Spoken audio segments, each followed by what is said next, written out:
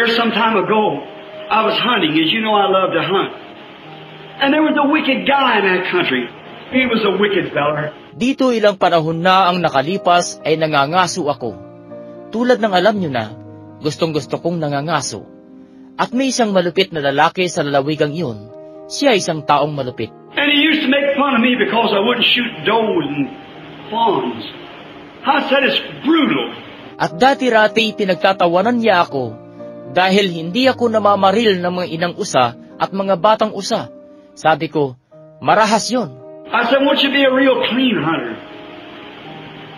And shoot the old bucks and things that's old and ready to die. God gave them to us. Let them young mothers and say, Sabi ko, bakit hindi ka maging isang totoong malinis na mga ngaso at bumaril lang ng matatandang lalaking usa at mga gayong bagay na matanda na at malapit ng mamatay? Ibinigay sa atin ng Diyos ang mga yan. Hayaan mo yung mga batang ina at mga gayong bagay. he said, oh, you're a chicken-hearted preacher. Kept telling me like that. Sabi niya, Ah, pusong manok ka kasi, pastor. Paulit-ulit na sinasabi sa akin ng ganoon. I said, now look, if I was hungry and I wanted one of those fawns, I believe God let me have it. But just to shoot it, just to act smart, wait, fill a wagon up. Sabi ko, ngayon tingnan mo, kung gutom ako at gusto ko ng isa sa mga batang usa na iyon, naniniwala akong ipahihintulot ng Diyos na makakuha ko niyon. Pero ang basta barilin lang ito para umasta lamang na magaling, bueno, mapupuno niya ang isang wagon. And he went and made him a call, some kind of a whistle. And he could blow that whistle and sound just exactly like a little fawn calling. At nagpunta siya at gumawa siya ng pantawag niya na parang isang uri ng pito. At maihipan niya ang pito na iyon at tutunog ng talagang parang isang batang usa na tumatawag. One day we was in the bushes together. I shamed him. I said, I'd be ashamed of myself. Isang araw ay magkasama kami na nasa mga palumpong. Hiniya ko siya, sabi ko. Mahihiya ako sa sarili ko. Kill eight or ten fawns one time if you could. Does and everything, just to act smart. Maybe cut the hindquarters off and leave the rest of it lay there.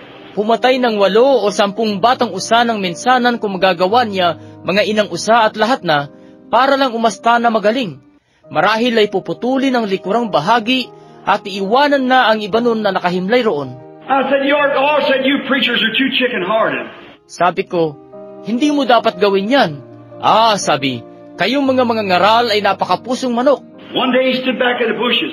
He took hold of this whistle and he screamed and sounded like a little fawn crying. Isang araw ay tumayo siya roon sa likuran ng mga palumpong. Hinawakan niya ang pito na iyon at ipinangsipol niya at tumunog yun na parang isang batang usa na umiiyak. Just as he did that, a beautiful doe stuck her head out, come stomping out. You could see her big brown eyes looking. She was startled. She was looking around. Habang ginagawa niya iyon, inilabas ng isang magandang babaeng usa ang kanyang ulo. Pumapadyak sa paglabas. Makikita mo ang malalaking kayumangging mata nito na naghahanap. Nagkitla ito.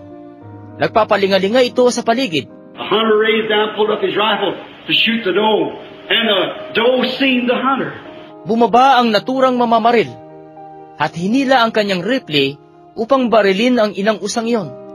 At nakita ng naturang inang usa ang mamamaril na ito. But you know what? That scream of that fawn, she didn't notice that gun. She was looking for that baby. It was in trouble. Ngunit alam niyo kung ano? Sa pag-iyak ng batang usang iyon, hindi na nito napansin yung baril. Hinahanap nito ang anak na iyon. Iyon ay nasa panganib. You know, that display of real motherhood and mother love, that she faced that gun in the face for death, looking at that in the muzzle of that gun. Alam niyo na ang pagpapakitang iyon ng pagiging tunay na ina at ng pag-ibig ng ina na harapin nito mismo ang baril na iyon para sa kamatayan na nakatingin doon sa nguso ng baril. You know what? That display was so great, it got next to him. He threw down his gun. He run back and grabbed me around the arm. He said, Billy, pray for me. I've had enough of this. When you see that display of mother heroism, Alam niyo kung ano? Ang pagpapakitang iyon ay napakatindi. Nabagbag siya nito. Itinapon niya ang kanyang baril. Tumakbo siyang pabalik at tinawakan ako sa braso. Sabi niya, Billy, ipanalangin mo ako. Tama na ito.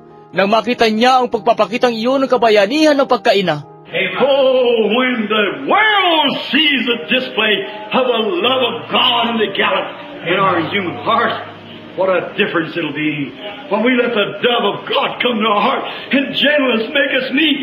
Oh, kapag nakita ng sanlibutan ang pagpapakita ng pag-ibig ng Diyos at ang katapatan sa ating pusong makatao, anong magiging kaibahan nito kapag hinayaan nating makapasok sa puso natin ang kalapati ng Diyos at gawin tayong maamo, gawin tayong mababang loob, There in that brush harbor back there, me standing there praying for that old boy, I led him to the Lord Jesus.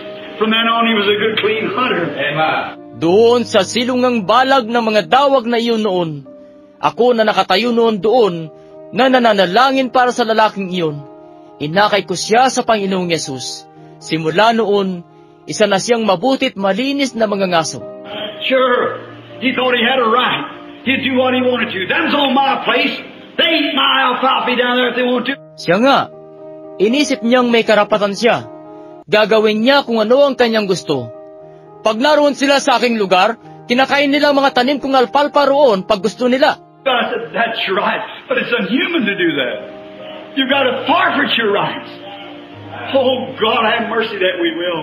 Sabi ko, tama yun, pero hindi naman makatao na gawin ang ganoon. Kinakailangan mong isuko ang iyong mga karapatan. Oh Diyos, mahabag ka na may suko nga namin.